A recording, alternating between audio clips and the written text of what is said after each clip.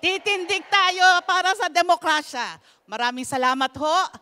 At ang demokrasya, mari na po tayong umupo, hindi lamang nanganganib dito sa Pilipinas at sa iba't ibang bansa dito sa ating rehiyon. Ito po ay nanganganib din sa iba't ibang bahagi ng mundo. At ngayong, uh, ngayong hapon, pakikinggan natin ang dalawang karanasan na magsasabi na ang paggamit ng batas laban sa mamamayan ay laganap din sa iba't ibang lugar.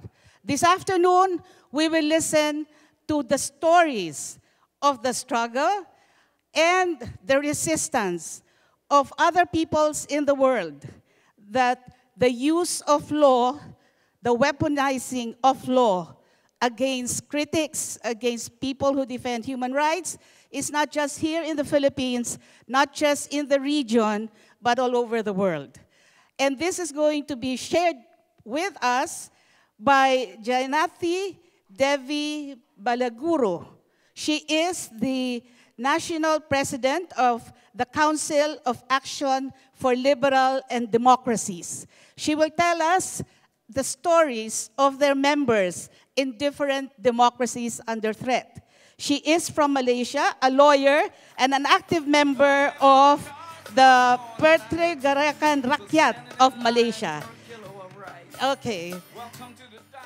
Next is uh, someone who comes from the other side of the globe to tell us also the story in France, in Europe. She will be telling us about the story of the struggle of their party. The party, in, translated in English, means France Unbowed or France Undefeated. Please welcome Marina Mesure. Thank you, Marina. So both of them traveled across uh, NCOV, and they're here with us to share their stories. And from the Philippines, to help us reflect together with what they have to say, we have three panel of uh, reactors. One is someone whom you know very well because he was a, parliament, a, a member of Congress and was very much instrumental in defending indigenous people's rights. Please welcome from the Cordillera, former Congressman Teddy Baguilat.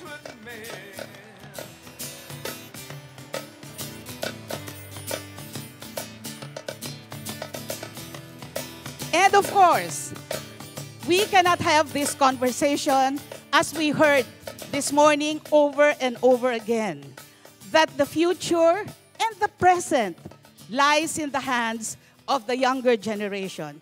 We, of course, are going to be always around standing with you.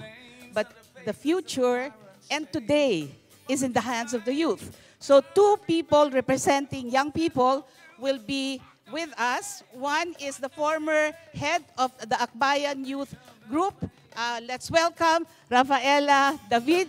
Many of you know her as Paeng, uh, who has been with us in many protest actions as one of the main, uh, main, uh, what shall we say, moderator. and of course, we must have someone who is studying the law and will eventually be the one to be part of the group of lawyers who will combat the use of law against people. Please welcome Shanti Lasala.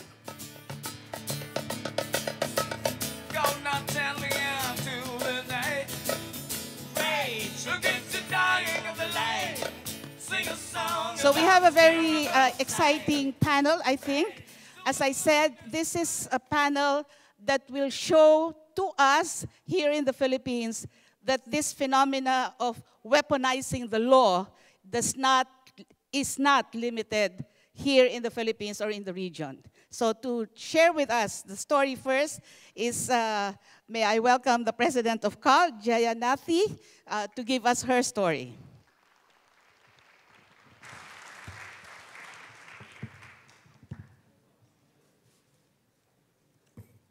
Good afternoon.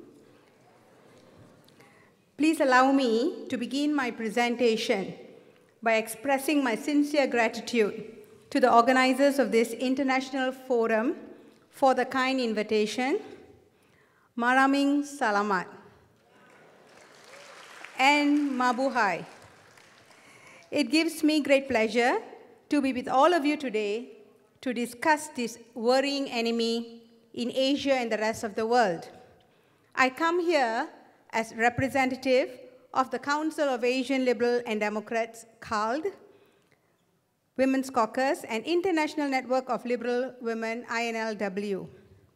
For those of you who may not be aware, CALD is a regional network of liberal and democratic political parties in Asia, while the INLW is an association of women from countries worldwide who support liberal principles.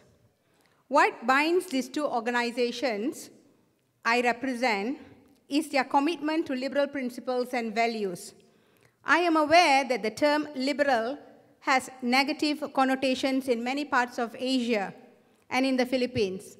I was informed that the label has been demonized since your presidential elections of 2016.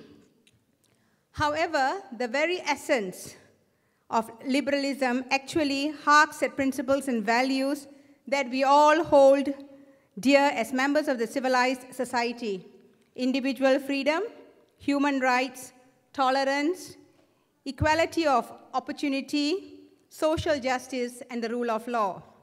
Rule of law is defined by the United Nations as a principle of governance in which all persons, institutions, and entities, public and private, including the state itself, are accountable to laws that are publicly promulgated, equally enforced, and independently adjudicated, and which are consistent with international human rights norms and standards.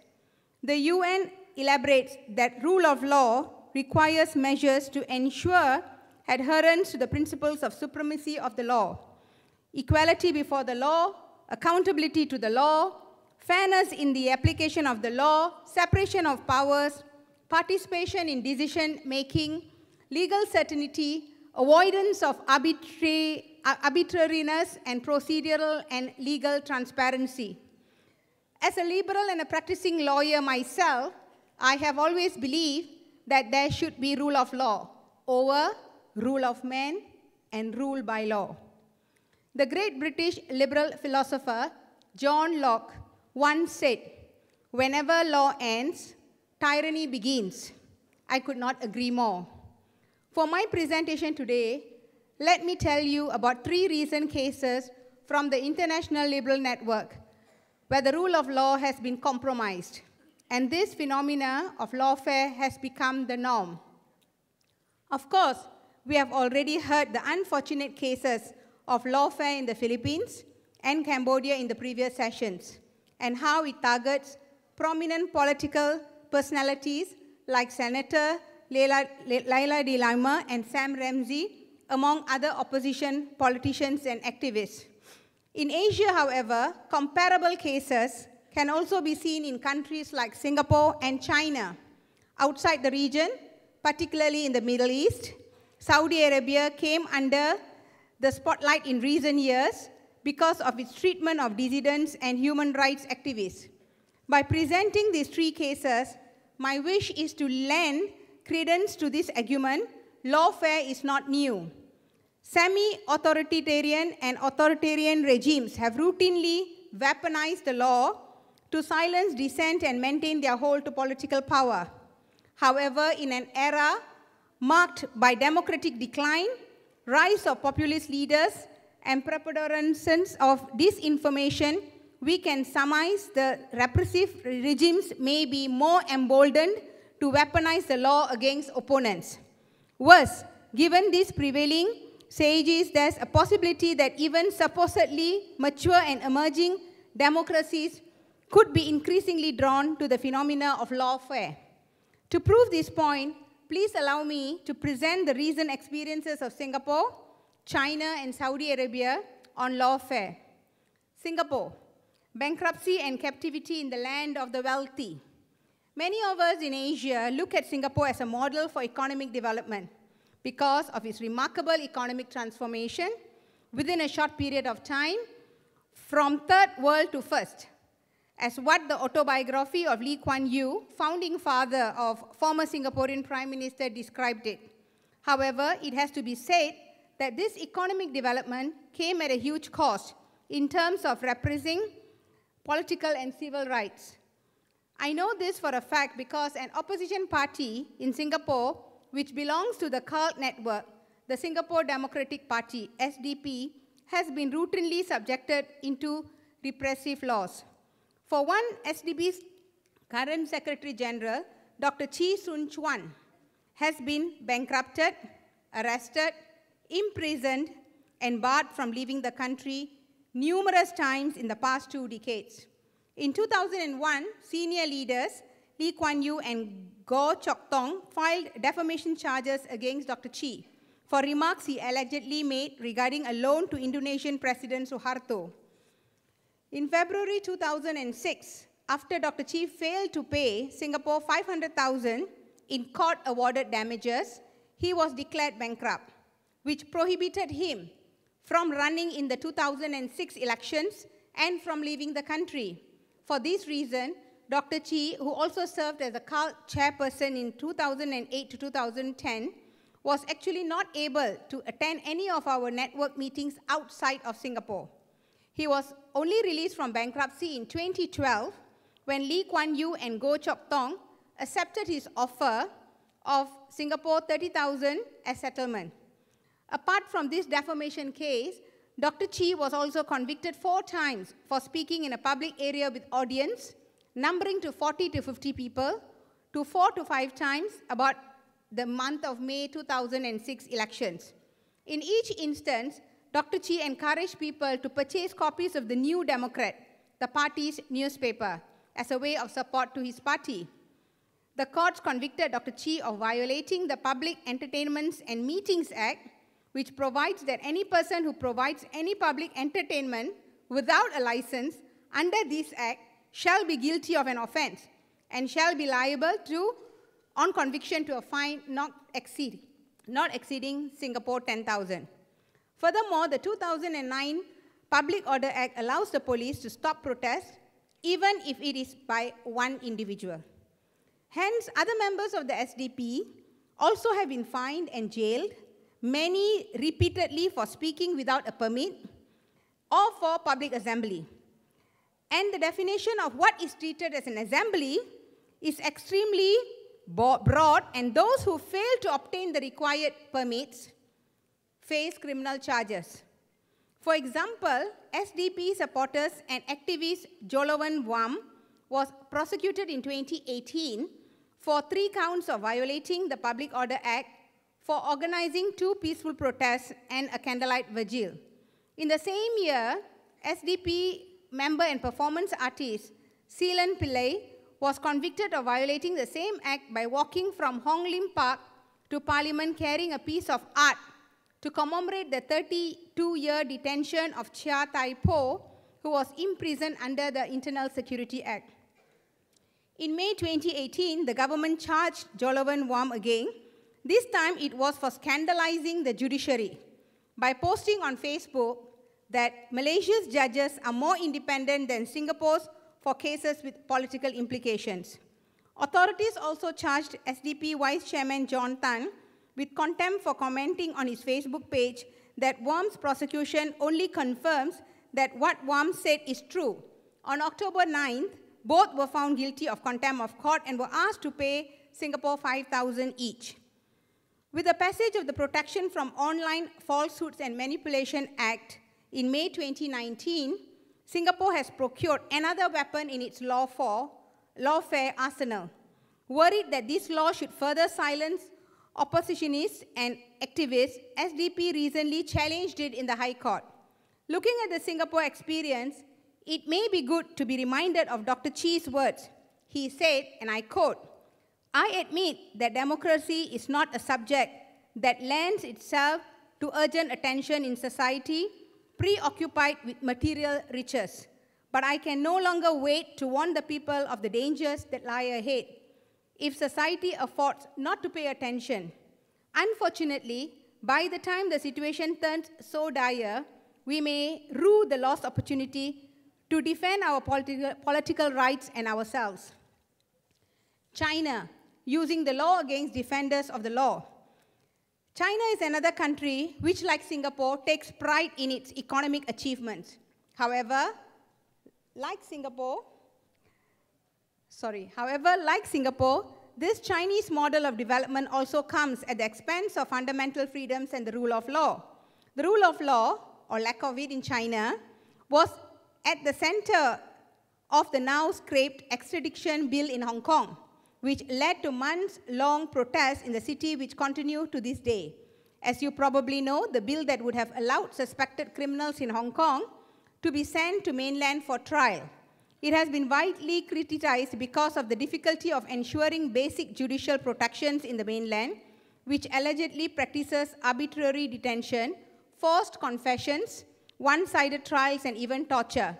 With a 99.9% conviction rate of defendants in China, the Hong Kong people who have always treasured the British legacy in its legal system have enough reason to be concerned. In China, officials can easily dictate the entire proceedings. There could be obvious errors and negligence in the case before the verdict was delivered. Hence, there have been cases in the past when people were found innocent years after they were executed.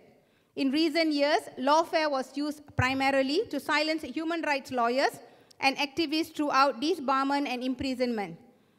Chinese authorities started weaponizing disbarment of human rights lawyers about a decade ago. The technique has te intensified since August 2017, two years after the 709 crackdown in which police rounded up more than 300 human rights lawyers and activists across the country. For this crackdown, nine were convicted of subverting state power, inciting subversion of state power, or picking quarrels and provoking trouble. Three people were given suspended sentences and one exempted from criminal punishment while remaining under surveillance. A number of these lawyers or activists still remain in prison. These strong arm techniques of China, unfortunately, can also be observed in other parts of the world. Saudi Arabia, apostasy and the death of democracy. For one in Saudi Arabia, dissidents, human rights activists, and independent clerics also bear the brunt of lawfare, according to the Human Rights Watch. Last year, the country faced unprecedented international criticism for its human rights record, including the failure to provide full accountability for the murder of Saudi journalist Jamal Khashoggi by Saudi agents in October 2018. Saudi Arabia also opened individual trials of prominent Saudi women before the Riyadh Criminal Court last year and dismissed all allegations that the women faced torture or ill treatment in detention. Most of the women faced charges that were solely related to peaceful human rights work, including promoting women's rights and calling for an end to Saudi Arabia's discriminatory male guardianship system. Prosecutors also accused the women of sharing information about women's rights in Saudi Arabia with journalists based in Saudi Arabia, diplomats, and international human rights organizations, including Human Rights Watch and Amnesty International, deeming such contracts a criminal offense. In the International Liberal Network, the most well-known case is that of Raif Badawi, a Saudi Arabian writer and activist and the creator of the website Free Saudi Liberals. The website championed free speech. It was a space where Saudis can openly speak about liberalism in a highly conservative country. Mr. Badawi said that talking about liberalism openly is considered an as apostasy, which is a crime punishable by death. That is why very few Saudis talk about it. He challenged the established rule in Saudi Arabia. He questioned the need of male guardians for women. He asked why all Saudis need to believe in Islam, and he stated that it can't explain everything, and people should be free to believe in whatever they want. For this reason, he was arrested on 2012 on charges of insulting Islam, though electronic channels and several charges, including apostasy. He was sentenced to seven years in prison and 600 lashes in 2013, but that was changed and increased to 10 years in prison and 1,000 lashes in 2014 plus a fine. He remains in prison to this day. These cases of Singapore, China, and Saudi Arabia show that semi authoritarian and authoritarian regimes appear to be more emboldened to deploy lawfare against political dissenters, human rights activists, and democracy advocates. What is more alarming is even relatively advanced democracies, such as the Philippines, as seen most prominently in the case of Senator Leila de Lima, are also drawn to the use of lawfare. At a time when we are seeing a global decline of democracy and corresponding, corresponding rise of authoritarianism, illiberalism, and populism, lawfare has become the new normal. For this reason, we as democracy and human rights advocates should be united in our resistance to this worrying state of affairs. Let me end by quoting Senator De Lima. To defend the rule of law is to defend what makes us human beings living in a civilized world. To defend it is to defend our freedom to seek truth, to seek justice, and to seek our own destiny. Thank you so much for your attention. Thank you so much, Jayanathi. And now let's welcome Marina into the podium.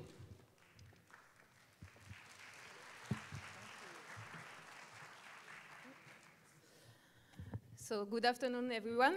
First of all, sorry for my English. I'm, I'm, not fluent, but I will try to do my best for you to understand well what I'm saying.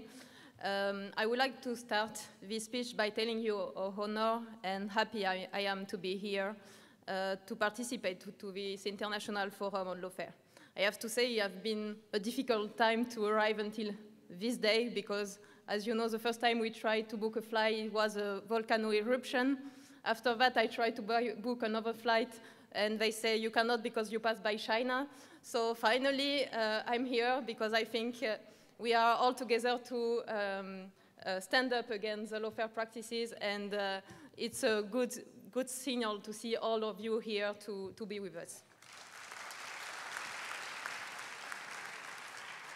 So thanks, uh, thanks so much for the organizer, which make a fantastic work, uh, and the university for sure to hosting us. A few months ago, uh, the, our political party tried to, an international, to launch an international campaign on lawfare. Because we face lawfare practices also in France, and we were thinking we are not the only one, and we want to be all together to fight against these practices. So we launched a petition, an international petition, and few weeks after the, the beginning of the petition, we received support from 35 countries. 35 countries to denounce the lawfare practices in their country. And this, during this campaign, we, we first uh, heard about the case of uh, the senatrice Leila de Lima. And that's why we have signed and support all the campaign which have been made to, um, to make her uh, free. So we have signed all the member of, of the member of her, her um, in the French Parliament have signed uh, the call for the release. And now we have, this first uh, international forum on fair. It's the first in the world. And we hope that in the coming months, it will have new forum on lawfare in also in Europe, in Africa, in America, because we need to push for this issue all over Europe, uh, all over the world, sorry. Because this key subject of lawfare practices it's a real danger for our democracy. Whatever our country are, whatever our political opinion are, and which can be different, but we'll all put together democracy above everything. And it's time, it's time then to be together, to join our forces, to stop all tactics and, and strategy which attack our democratic value. It's very interesting to see that in the 16, 17, it started with a, a military dictatorship with, which was imposing the privation of freedom and liberty. But now the method can appear more softer, so, soft, sorry, more soft, uh, much, much more insidious, much, much more sophisticated. And it is exactly what it is a lawfare.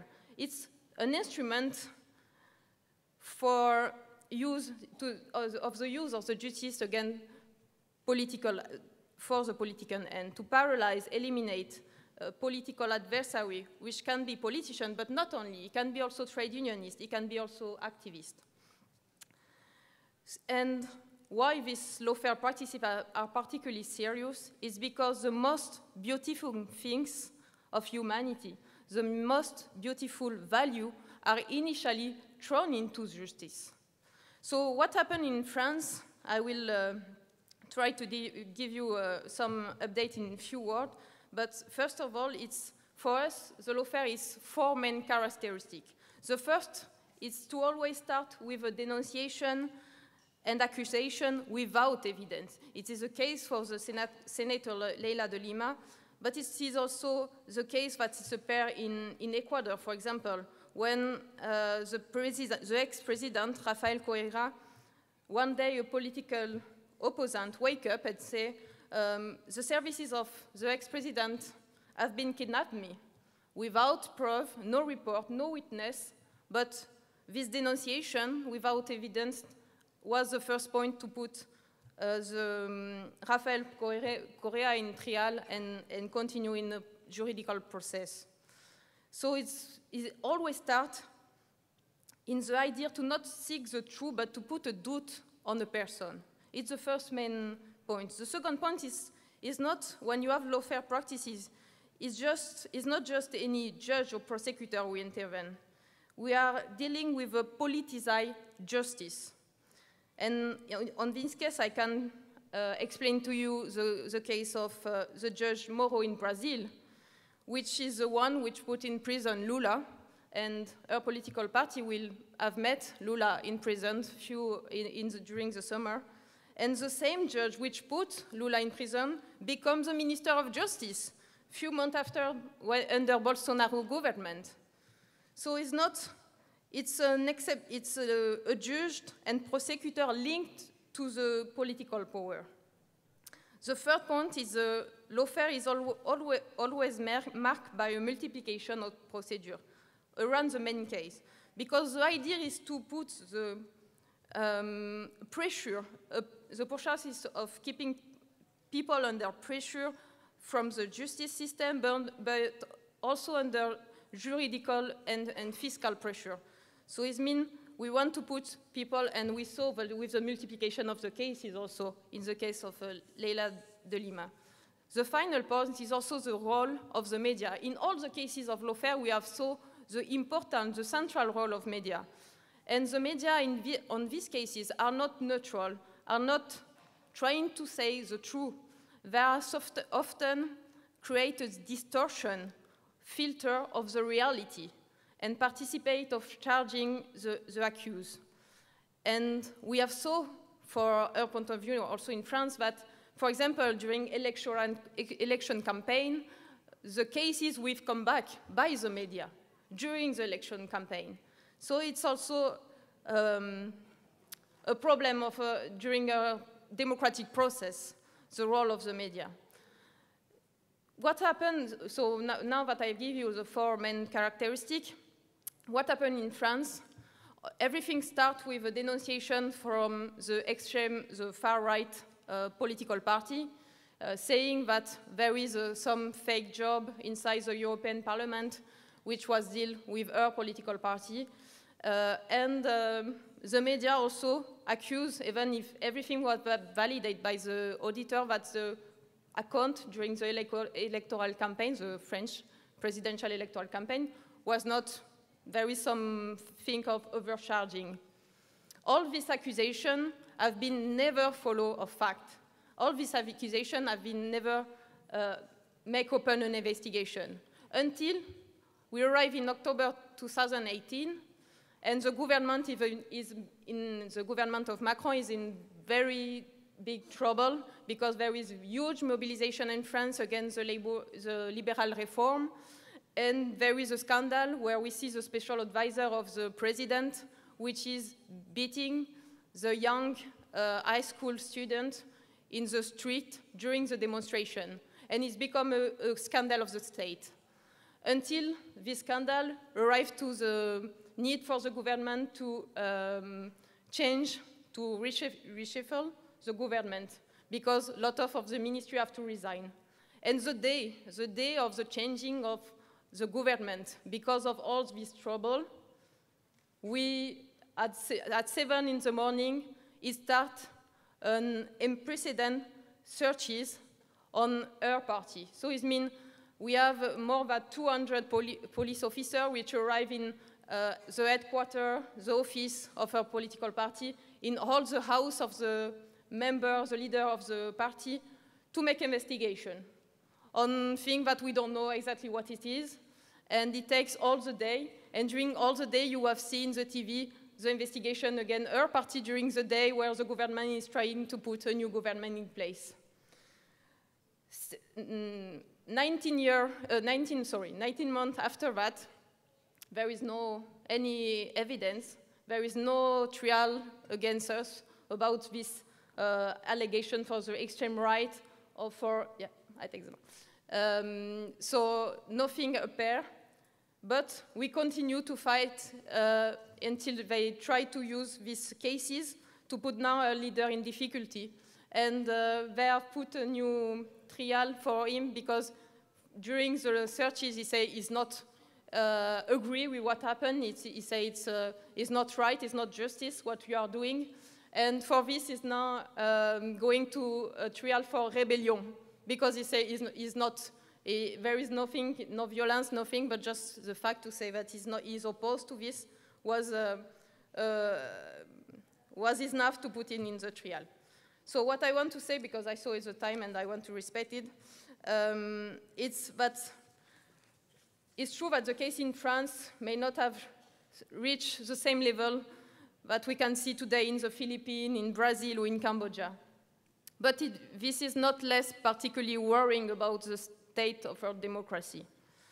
So today, I stand here in the Philippines in the name of the main left political party in France, France Insoumise, to defend with you our common value as a human rights defender, to give a total support and solidarity to all Filipino which is defending the human right and the liberty of the Leila de Lima. When you start, you say that the name of her party is France Insoumise, which is not, there is not a real translation in English. But it means that we are not submitted to a system. We are not we are unsubmit, unsubmissive. And today I want to be with you all unsubmissive to the injustice that you are facing here. We want the justice. It's time for justice. It's time for the immediate release of Senator Leila de Lima.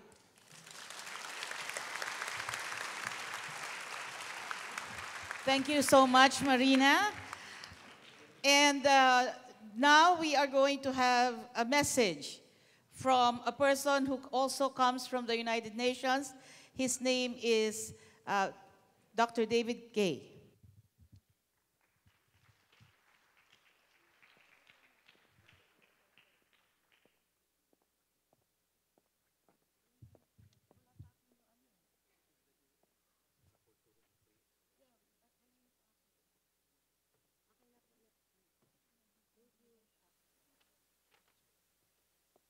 My name is David Kaye. I'm the United Nations Special Rapporteur on Freedom of Opinion and Expression. Thank you very much for the opportunity to address you at this important conference, uh, which marks the anniversary of the unjust detention of Senator De Lima, uh, but also highlights the ways in which states and other actors around the world have been putting pressure on legitimate expression, on dissent, on public debate for many years. In these few minutes, what I would like to do is say a few words about the ways in which governments do impose that kind of pressure and the ways in which political leaders impose that pressure and use the tools uh, that are at their disposal tools of law, tools of law enforcement, uh, and also the tools of the platform of governance in order to implicate and to pressure uh, legitimate dissent and other forms of debate. So let me say a few words uh, to begin with about the nature of my mandate. The mandate of the Special Rapporteur on Freedom of Opinion and Expression rests in particular on Article 19 of the International Covenant on Civil and Political Rights, the ICCPR. Article 19 guarantees everyone's right to maintain an opinion without interference. That is a strict right that's subject and can be subject subjected to absolutely no uh, restriction or limitation. The Article 19 also protects and guarantees everyone's right to seek, receive, and impart information and ideas of all kinds, regardless of frontiers, and through any media. That is a robust right to seek, receive, and impart. This is language that was developed in the 1940s as part of the Universal Declaration of Human Rights, and yet it almost assumes the development of a platform like the internet for speech. Seek, receive, impart, and regardless of frontiers. Now, of course, states may impose restrictions on the freedom of expression, but those restrictions under Article 19, paragraph 3, must be extremely limited. And there's a three part test that we use in order to evaluate state restrictions. That three part test requires that a state demonstrate, not that the victim of any kind of restriction demonstrate, but that the state demonstrate that three conditions are met. One, that the restriction is provided by law, that is, it exists in law and it's narrow and clear and precise enough to provide guidance and limit the discretion of the state. It's necessary and proportionate to achieve its aims, and the aims must be legitimate aims. Those aims must be, for instance, one of the protection of the rights or reputations of others, uh, public order or national security, or public health and morals. Those are the only grounds on which restriction, uh, expression may be restricted. So, Article 19, which is binding on a country like the Philippines, is absolutely a robust statement of the freedom of expression and an absolutely uh, robust statement of how governments can be limited in their uh, implementation of restrictions. But over the last several years, particularly with the rise of the internet, we've seen states resort to a number of tactics in order to limit speech. Now, some of those restrictions are restrictions that are, are very much the same as they've been historically. The kind of pressure that we have seen imposed on journalists, on politicians, on opposition figures, on those simply in regular dissent um, that we've seen for generations. So, for example, the criminalization of dissent, the criminalization and censorship of adverse views, of criticism of government. Those kinds of tactics have long been used by governments in order to restrict public space, in order to restrict public debate. But they've also gone in different directions in recent years. So, for example, uh, it's been a part of law for for centuries, really, that a person could bring a claim of defamation uh, where speech actually produces a real harm to one's reputation. And there's variation on the defamation claims and the law on defamation uh, around the world. Uh, but there has been a, a, a, claim, a cause of action for defamation uh, for, for many, many generations. Um, for several years, there's been an effort to limit criminal defamation because criminal defamation is almost always a disproportionate attack on the freedom of expression. And there's been a global campaign to urge states to end, to remove criminal defamation from their statute books. Unfortunately, even as governments have removed criminal defamation, and that is defamation that the state prosecutes, uh, which is invariably used to limit debate and, and public speech. Uh, we've also seen a rise in civil defamation claims. And this is where individual politicians, government ministers, and others bring claims against individual journalists or those in dissent or others, um, and they sue them in court. We, we think of these as slap suits, uh, strategic lit- litigation against public participation. These are suits that are designed to limit speech and debate. And this is a form of, to use the term from the conference, lawfare, that is extremely concerning, not only because it allows government ministers and others to bring suit in order to limit speech and debate, but also because the penalties often seek to bankrupt those who are speaking or writing or debating or raising criticism of government. These are just a few ways in which governments are seeking to implicate, to pressurize uh, speech around, around the world. We see this in the Philippines and we see this in many other places. We also see, as many of you know, the use of the internet as a space to, in a sense, flood the zone with disinformation, to flood the zone, to flood the internet with uh, pressure on speakers, with disinformation, with attacks, particularly misogynistic attacks, which we've seen uh, on the rise in all places, including in the Philippines. And I'm particularly concerned about that use of public space and of the private space of the internet in order to uh, impose pressures on legitimate speech, on journalism. And at the end of the day, we have to remember this is, this is not only about protecting specific journalists or specific media outlets or specific public figures. It's about protecting our rights as individuals, as citizens, to engage in public debate and to seek and receive information that shed light, sheds light on what government is doing in our names with our tax dollars uh, and uh, and what it is doing in order to limit the freedom uh, of our franchise, our ability to vote, to participate in public life.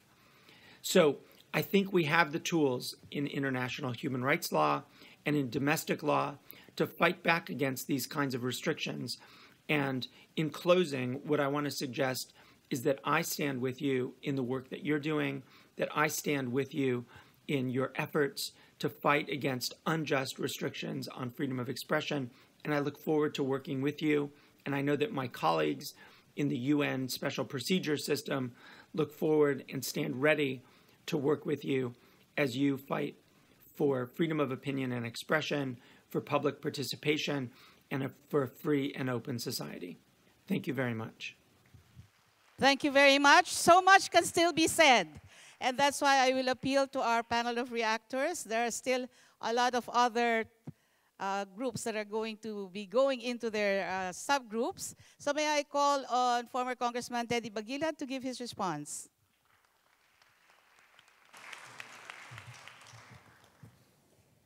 Good afternoon.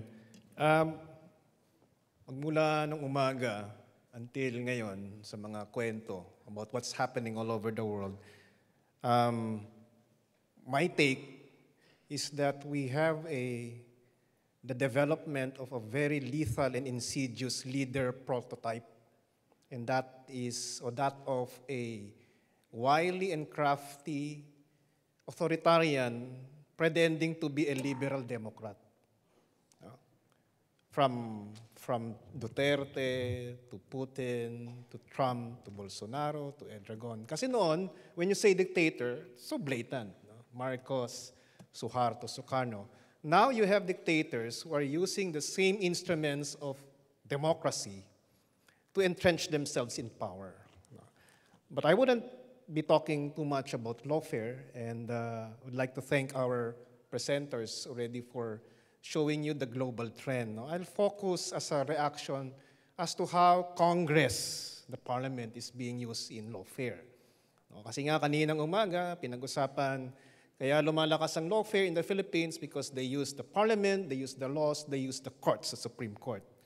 In the Parliament, especially in the three years, the, the, my last term as a congressman, ginamit rin talaga ang Kongreso starting with the formation of the super coalition. So Congress became practically a rubber stamp of uh, the president. No?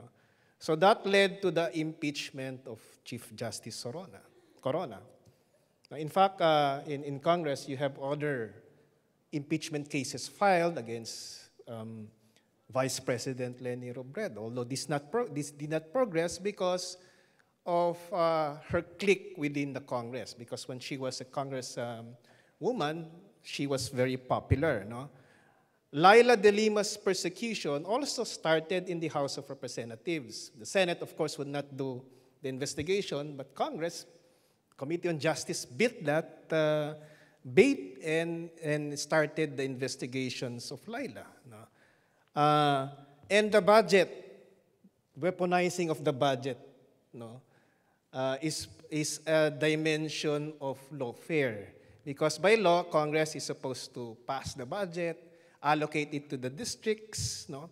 So ang nangyari is, if you remember, Chito Gascon was speaking earlier, no? but if you remember, one time, no, they threatened the Commission on Human Rights with a one peso budget. No? That's how, so that's how Congress um, budgetary powers is also being manipulated. And me personally, a victim of the weaponization of the budget because for us few brave members of the genuine opposition, tinanggalan yung budget namin sa aming distrito.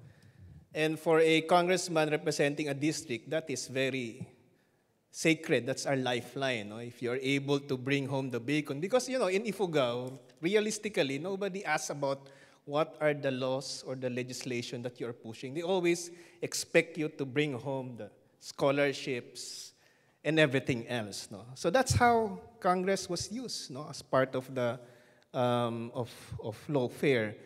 Even Chacha? Kumahagat lang ang Kongreso dyan. And then recently, uh, we, Congress or the House of Representatives recently passed an amendment to the Public Utilities Act, which is actually essentially changing the Constitution. And my good friend Teddy Gasino was also talking about the Anti-Terrorist Act. No? In fact, that is a global trend. No? Yung pinag-usapan kanina, the global trend now is to pass anti-terrorism laws and anti-fake news laws to stifle dissent. No? Um, uh, we, we missed the golden age of liberalism, which led to the Magna Carta for women, to all of these human rights laws. Now it's different, no? because of the trends of uh, fake news and terrorism no? in order to address these genuine issues naman siya, but now it's being used to stifle defend, dissent. Now, why did this happen? This probably is going to be my last point. No? Why is this happening in Congress? Because we have a weak political party system. Our political parties are actually built around personalities. Unlike in more mature democracies, people identify with the political party, not with the personality. In fact, in the last elections, nanalo ang liberal. Bakit? Because most of the representatives, the governors, congressmen were, were Liberal Party uh, affiliates. Pero since yung Pangulo, that's our political culture is centered on personalities. So everybody transferred to PDP. Now they're losing all their membership. So ganun din, that's how you stifle defense. Because regionally also, in, the, in, in Southeast Asia, I think culturally, ano tayo, we look for messianic, iconic, charismatic leaders. So the way to stifle dissent, which is what's happening in Cambodia, is to arrest their icons. So sana, I think, uh, as a response, no, we've heard a lot about what we can do, but at least for us who work through the political parties, because I'm a member of the Liberal Party, um, the, the, the, what we can do is really to go down and strengthen our mass base. So ngayon, we learned a lesson. We're going down to the municipalities and provinces and organize, organizing chapters of true blue or true yellow liberal Democrats. So whether you're from the right or the left or at the center, what's important is you believe in a certain ideology which is in our case, freedom and human rights, and you elect leaders na maninindigan doon sa patakaran na yon. Okay? So, uh, nakita ko dito na andito yata lahat ng puwersa ng dissent from the left to the right. One very interesting breakout session is you have Magdalo, Akbayan, and Bayan Muna, moderated by the liberals.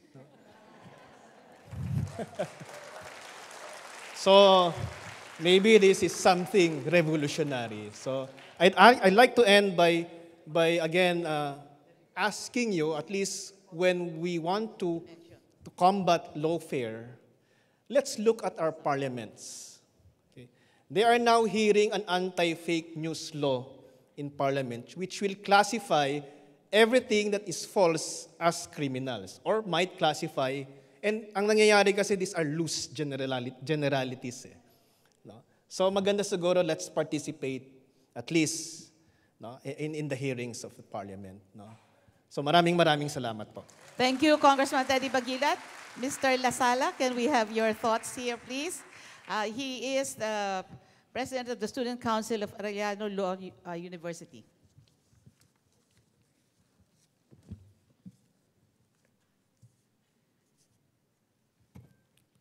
Um, the Association of Law Students of the Philippines greets everyone a pleasant and lively afternoon. Um, we are one with all the courageous and peace-loving citizens and law advocates in this auditorium. We are in such a time that the law is being weaponized to stifle free speech and democratic dissent. This has always been the case when people remain silent and do nothing. That's the reason why we would like to thank the organizers of this Lawfare Forum for holding this event to somehow sound the alarm and con- continuously advance the rule of law in all spheres of the society. The ALSP truly believes in the power of law in promoting the ideals of democracy and advancing the interests of the citizens of this country. When the law is abused and weaponized for the interests of a few, then it becomes detrimental and destructive for the people it governs, free men becoming slaves again. This should not be the case for our beloved country and the nations out there. As our country progresses, so its democratic institution and its people progress as well. The result of us fighting for democracy and promoting justice results to us, results to all of us experiencing social justice. Yesterday, we celebrated the World Day of Social Justice. So let me just quote to you the case of Kalalang versus Williams. I believe if you are a law student here, you are familiar with this. Penned by Justice Laurel.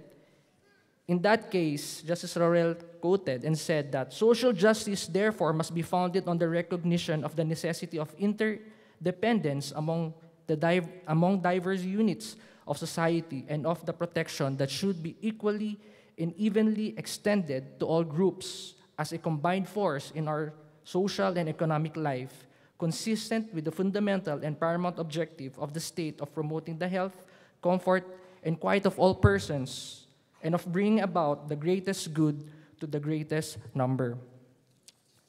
As we advance the rule of law, the expressions of democracy and social justice will be achieved. To advance the rule of law, the basics and practicality of law should be taught in the campuses, if possibly even in primary school. To advance the rule of law, let's continuously fight false news and misinformation and allow dissent, but also present truthful facts and information. To advance the rule of law, we should not remain silent, but be the voice of those who experience oppression and injustice. To advance the rule of law, we should continu- continuously hold forums and conferences like this that promotes the ideals of justice and democracy. To advance the rule of law, the youth and the young at heart in this room should always unite and collaborate to achieve true democracy. To advance the rule of law as faith-loving citizens of this country, let's always put God in everything and be guided by Him in all our dealings. So mabuhay tayong lahat and let's always fight for democracy and justice. Thank you. Maraming salamat. And now, can we hear also from another youth leader, uh, Rafaela David, or Paeng, as we know her.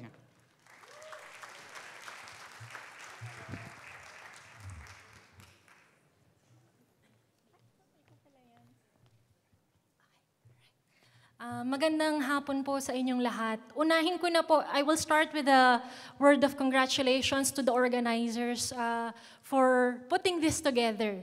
What we're doing today is not just an international forum. I believe that it is a statement from all of us here that we will not stand down. Together, we will resist. So thank you and congratulations to everyone here. Um, I think I was invited today, this afternoon, to provide a youth perspective, perhaps, to lawfare and its various manifestations around the world. Um, I hope you will indulge me by showing to you some pictures that I hope can share or show at least um, my experience as a youth leader within a political party called Akbayan. Um, we in Akbayan has been pushing for uh, and working within the confines of law trying to engage it and um, challenge its boundaries to promote and pass progressive laws that are pro-people and pro-poor. So it is very disheartening and worrisome that the law now is being used not for the people but against the people. We in Akbayan, we're not, uh, we're not stranger to having the law pushed uh, to silence some of the things that we are we want and we know has to be said. Our chairperson, who I'm, I'm, I'm happy to see is also here with us this, uh, this afternoon. Uh, so maybe say, of course, a hi to Senator Risa Hontiveros, who's here with us. Just a shout out. Um, some of you probably know that uh, our chairperson is facing as well several cases from absurd wiretapping uh, allegations to kidnapping, uh, which of course, is uh, far, yeah, far from the reality. In fact, she was protecting the witnesses to the Kian killings. Um, so, because of this lawfare that we are seeing, that's being more intense in the past few years, we know that we cannot do it alone. We know that we need the international community, just like what Joshua Wong said earlier in his video. That's why uh, in 2017, uh, we were happy to host, uh, at the end of 2017, an international mission from the Progressive Alliance and the Party of Europe European Socialists um, who stand in solidarity for those who are victimized by the law through the killings and also through the various cases that seek to silence opposition and dissent. But international solidarity also sometimes has a price. In fact, when we invited one of the delegates again to come back a year after, we were uh, surprised to find out uh, that he, was already blacklisted from coming to the Philippines. When we invited him and we received the call that he was detained at the airport at Cebu, we realized that, um, and in the beginning, it was it, it, seemed funny that something like this would happen. Um, it's not in a lifetime we would uh, think that uh, our international uh, partners will also feel the brunt of uh, the government flexing its muscles against those who seek to stand for human rights. But nurturing international solidarity does not happen overnight. It happens years, decades. That's why we believe that it is through international solidarity among young people that we can build a better world.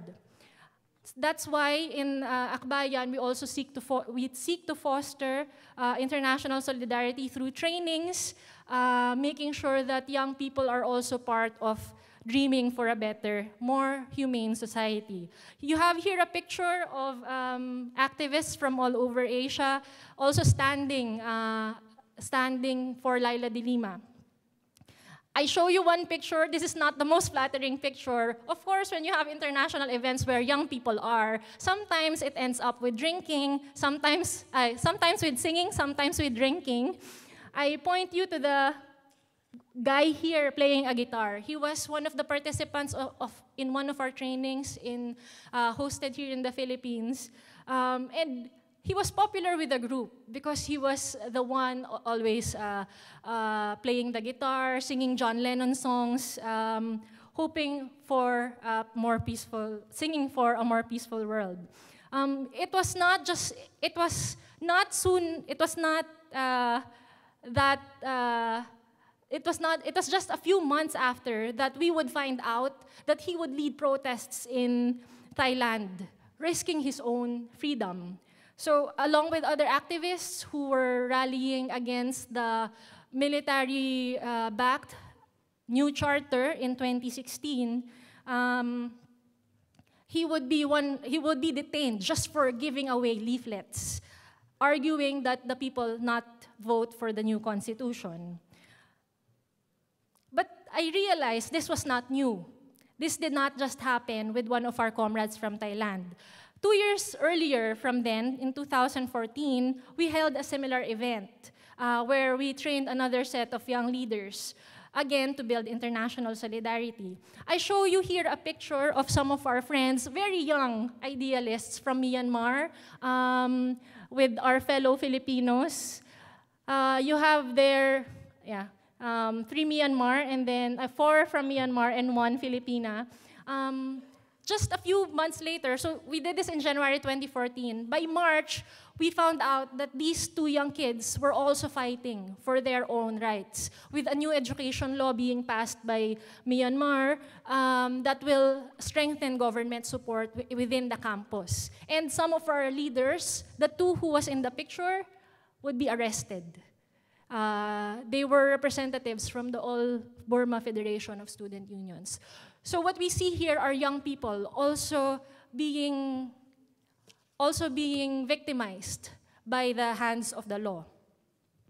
Okay, because they're saying I should wrap up. So just maybe two more people I want to share to you about.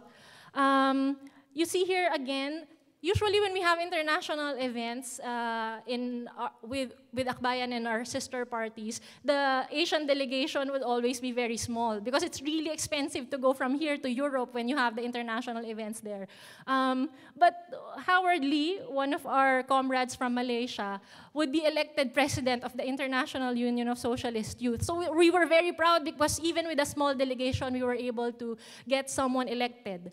Howard Lee in 2016 would also be leading, a leading voice uh, calling for clean elections in Malaysia with the Bersih 5 uh, protests. Unfortunately, he too would feel the brunt of the state in Malaysia and would be arrested along with uh, several other opposition leaders. So they seem very happy though, no? okay. Um, Future Forward Party from Thailand, this was already identified early on. I just want to, uh, to focus on them primarily because their party is very new and they're comprised by young people who know that together they can do more.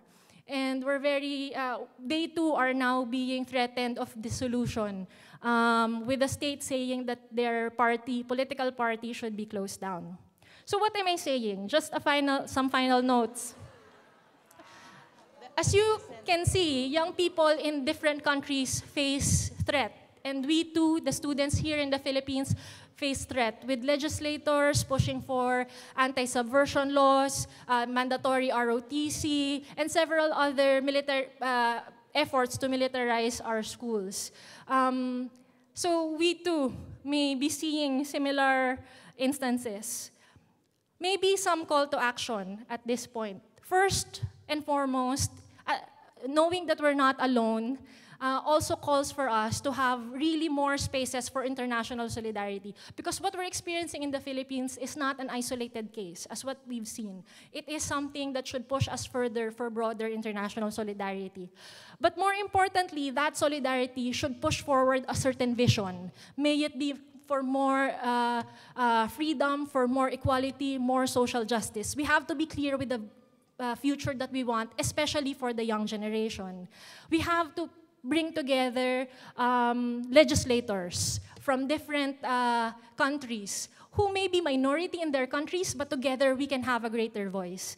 And finally, we know that uh, fighting against lawfare should be a resistance of young people. So we call on young, the, the, the fight for democracy should necessarily be youthful. Because if not, I, I believe if the young people are not part of the, uh, of the resistance to lawfare, um, we, it will be hard for us to define and recreate and hopefully not make the same mistakes of those who came before us. So with that, uh, for uh, very youthful, but of course with uh, our friends from all sectors as well, uh, we resist. So maraming salamat, padayon po sa ating lahat. Maraming salamat. And for this panel, we have heard China, Singapore, Saudi Arabia, Brazil, France continue to feel, experience the weaponization of law. But in these areas, as well as uh, in other areas, the resistance grows. And the resistance from the youth is very strong, and we are inspired by that. We say that rule of law must lend itself to freedom, human rights, and social justice. We say that legal acrobatics cannot be tolerated and that we should continue to resist. 34 years ago, we won back our democracy here in the Philippines. Today, democracy here and in other parts of the world is in danger. And as the young people that was shown by Paeng had said, we will continue to resist and defend and win because we will all be together in solidarity. Maraming salamat. Thank you to our panelists. Children begging in the knocking on cars till the morning light. People standing in line for a kilo of rice. Welcome to the dark ages, the era of.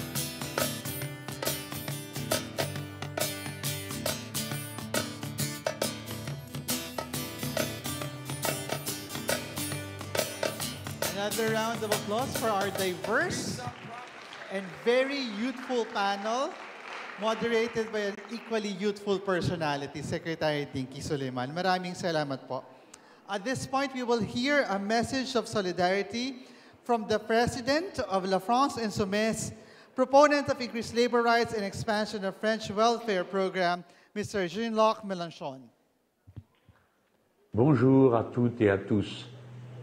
J'adresse un salut très amical au Forum international sur le Laofer. Normalement, j'aurais dû me trouver parmi vous et partager vos travaux. Mais ce sont les circonstances de la vie politique de mon pays, la France, qui me retiennent ici parmi mes compatriotes. En effet, une très grande bataille politique est engagée pour la protection des régimes de retraite.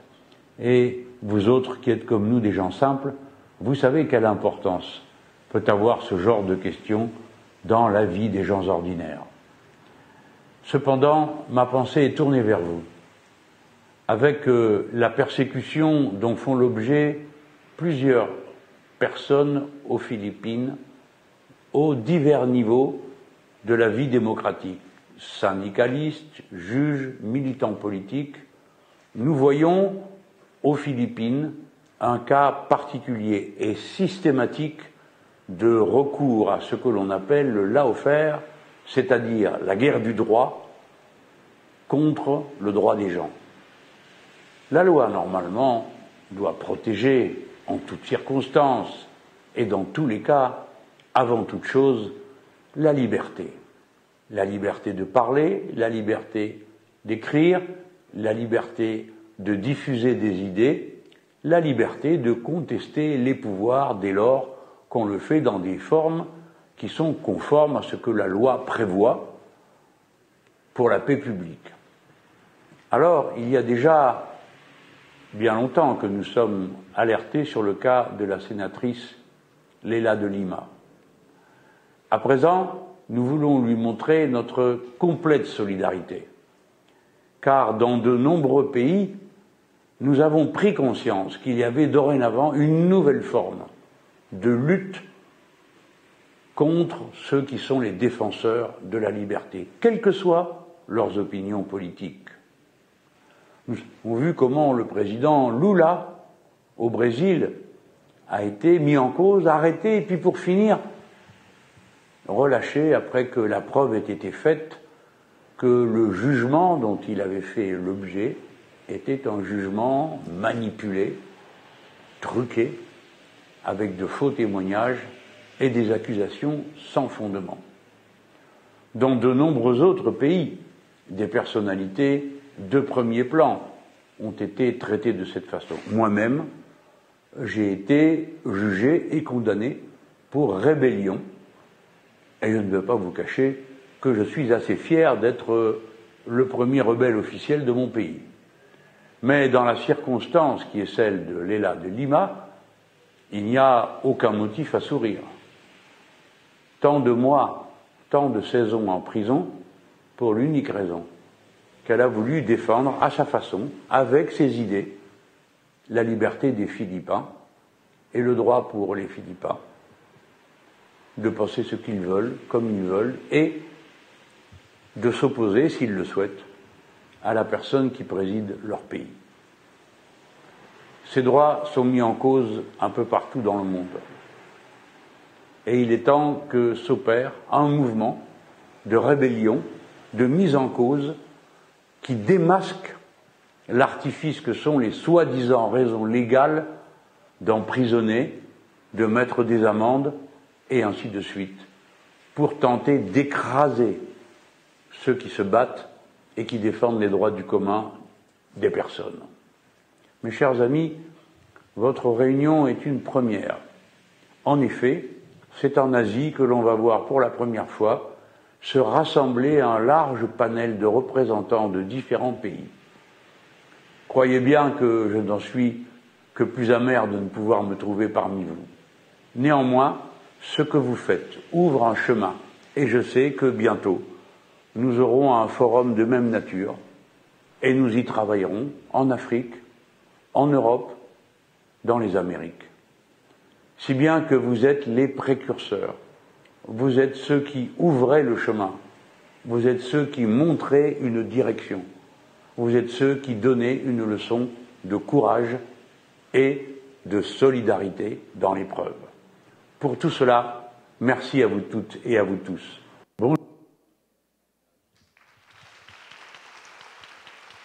Merci, Monsieur Mélenchon. At this point, ladies and gentlemen, it's time to weave our tapestry of resistance. As you proceed to your chosen breakout groups, if you still haven't made up your mind, kindly open your programs. The topic schedules and resource persons and pertinent informations are inside. Again, please be back at the conference room by 3.40 in the afternoon. Again, 3.40 and we will begin with plenary 4 at 3.40 in the afternoon. Maraming salamat po.